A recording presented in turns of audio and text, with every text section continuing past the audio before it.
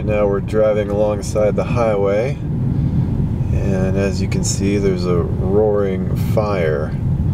Uh, I think we're on. I'm not really sure which road we're on, but pretty much the forest is burning around us, which is rather disconcerting.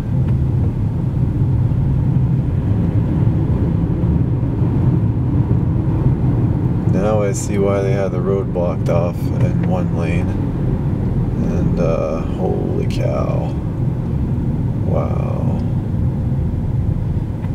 They weren't kidding when the sign said extreme fire danger today.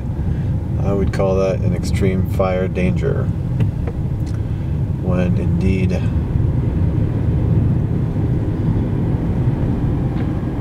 everything is burning down.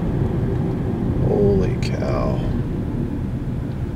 I don't know, it doesn't look like this is a prescribed burn.